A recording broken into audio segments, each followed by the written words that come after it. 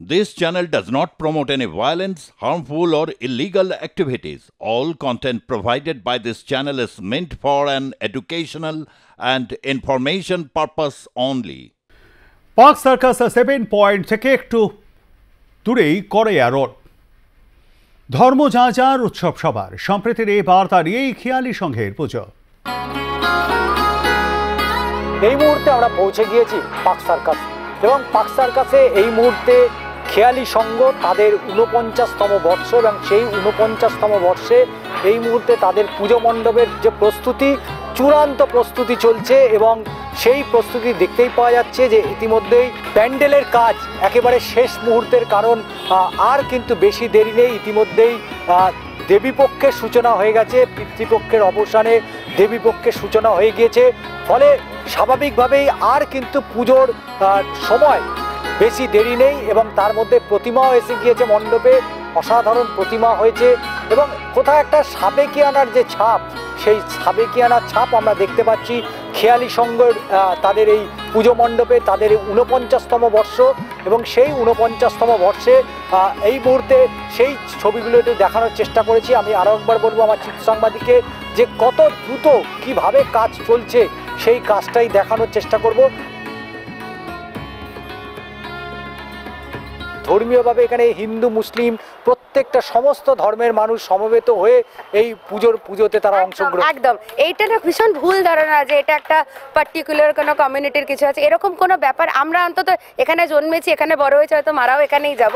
কিন্তু আজ অব্দি কোনোদিন দেখিনি এবং এটা বিশ্বাস যে কোনোদিন আমরা এটা এখানে দেখব না। সবাই মিলে জাতি ধর্ম নির্বিশেষে প্রত্যেকটা মানুষ পার্টিসিপেট করে। আমাদের পাড়ায় যেদিন খিচুড়ি ভোগ হয় সেদিন সব ধর্মের লোকজনের বাড়িতে রান্না হয় না। সবাই এখানে ভোগ নিয়ে গিয়ে বাড়িতে খায়। সেটা কেউ খান হতে পারে কেউ মুখার্জি হতে পারে যেই হোক। মানে এটা বলাই এবং এটা ওরা ওরাই সব এটা ওটা মানে ভোগ নয়। এটা পাড়ায় একটা অনুষ্ঠান হচ্ছে যেখানে ওরা পার্টিসিপেট করবেই এবং এটা খাবেই। একটা হিন্দু তার যা অবদান আছে একটা মুসলমানেরও তাই অবদান আছে। আমাদের যিনি প্যান্ডেল করছেন উনি উনি মনে মুসলমান এই হোটেলটা পেছনে দেখুন সে তো একজন মুসলিম কিন্তু। সে কিন্তু কোনো রকম আমাদের বলছে, না, আমার হোটেলের সামনে কেন এটা হবে? তো যদিও ওনার হোটেলটা নতুন, আমাদের এই পুজো, আমি প্রায় ধরুন আমার জন্মগত থেকেই হচ্ছে। সুতরাং এটা নিয়ে কোনো, কারও কোনো বিপত্তি নেই।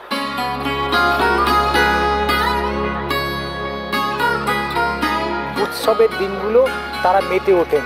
সেটা ঈদ হতে পারে, সেটা দুর্গাপুজো হতে পারে, সেটা মহালয়া হতে পারে। যে কোনো উৎসবেই প্রত্যেকেই সমানভাবেই সেখানে পার্টিসিপেট করেন।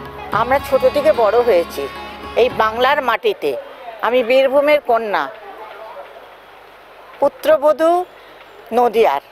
আমার শ্বশুরমশাইয়ের নাম ফজলুর রহমান সাহেব, আমার ছোট ভাই সৈয়দ ছেড়া জিম্মি। তো আমরা ছোট থেকে এমনভাবে মানুষ হয়েছি, আমরা জাতি, ধর্ম, বর্ণ নির্বিশেষে সমস্ত উৎসবে কলেজের বন্ধুরা, স্কুলের বন্ধুরা, সরস্বতী পুজোর সময় সরস্বতী করা, মহরমের সময় আমার ভাইরা মহরম খেলে, আমরা জানলা দিয়ে ছুটে গিয়ে দেখি যে এই যে আখড়া আসছে আখড়া আসছে। খ্রিশ্চানদের সময় আমার বন্ধুদেরকে নিয়ে আমরা কেক কাটি, ওখানে একটা ছোট্ট চার্চ আছে, আমরা চার্চে যাই।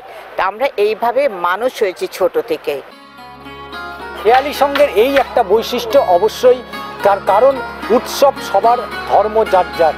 এবং সেই কারণেই জাতি ধর্ম নির্বিশেষে প্রত্যেকেই শারদীয় উৎসবে একেবারে সমানভাবে তারা গা ভাসিয়েছেন এবং খেয়ালি সঙ্গের মধ্যে কিন্তু চার কোনো অন্যতা আমরা দেখতে পেলাম না। এবং খেয়ালি সঙ্গের এই পুজো মণ্ডপ ইতিমধ্যেই প্রায় চূড়ান্ত পর্যায়ে প্রস্তুতি চলছে এবং দু একদিনের মধ্যেই কিন্তু সম্পূর্ণ হয়ে যাবে পুজো মণ্ডপ। চিত্র সাংবাদিক প্রসঞ্জিতের সাথে শশী চট্টোপাধ্যায়ের প্রতিবেদন আর প্লাস নিউজ কলকাতা।